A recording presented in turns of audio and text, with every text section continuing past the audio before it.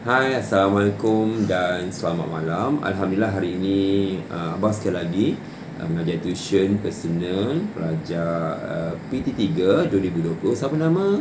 Hidayah Hidayah. Hidayah, lambat sikit Hidayah. Uh, Hidayah ni dari sekolah SMK Zainab dan nak satu sekolah kluster kecemerlangan. Jadi pada malam ini abang nak ajar Hidayah tentang uh, ulasan. Itu kita dah buat ringkasan. Jadi hari ini kita buat ulasan. Okey Hidayah. Ulasan ni adalah satu yang perkara kita pendekkan dia buat ulasan ringkas. Biasanya kita nak buat macam mana? Berapa isi kita nak bagi berapa idea?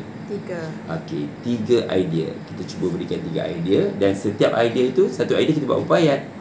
Tiga Ha, biar nampak sikit dah yang tu. Ha, buat tiga ayat. Jadi satu isi kita buat tiga ayat. Okey? Okey, dalam membuat ayat ini kita boleh bagi pelbagai faktor. Contohnya uh, kita gunakan formula. Formula apa dah ya? KFC Ha, KFCU eh. KFCU ni maksudnya K tu apa?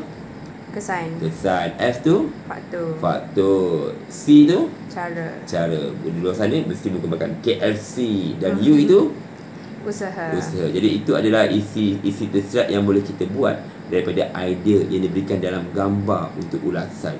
Dan biasanya apabila kita dah kupas tiga ayat untuk satu idea, jadi tiga kali tiga sembilan ayat. Kebiasaannya pelajar akan tulis satu ayat lebih kurang sepuluh patah Patah perkataan. perkataan. Tiga kali tiga berapa?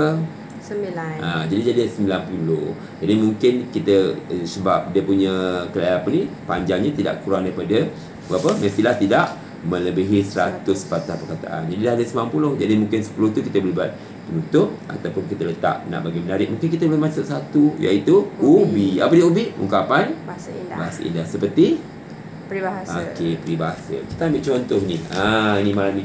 Ah, Dayah dah buat malam ni. Jadi hari ni tajuk kita iaitu berkaitan dengan telefon bimbit. Ah, kesan penggunaan telefon bimbit kepada murid-murid. Ah, jadi tiga idea, tiga isi uh, idea yang diberikan dalam soalan dan Dayah dah kembangkan pada tiga ayat. Ah, contohnya begini.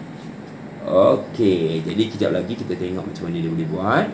Jadi anak-anak di luar sana untuk PT3 kalau keluar soalan ulasan mungkin anda boleh buat dengan mudah. Tapi ramai yang nak jawab apa?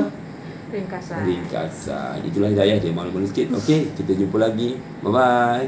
3 4. Oh, nah. kita jumpa lagi. Assalamualaikum.